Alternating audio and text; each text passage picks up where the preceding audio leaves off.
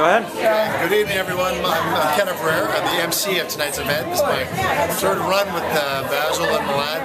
Funny thing is, I grew up with these guys back in Center Town, so when they called and said, hey, can you support the cause and raise money for the Roger's House, I said, of course, within a second. Especially want to have a three-year-old, a two-year-old, and a one-year-old. So, great cause, great event, uh, but it's successful because you have great people supporting the cause. So I wish everybody a great evening and great success raising money.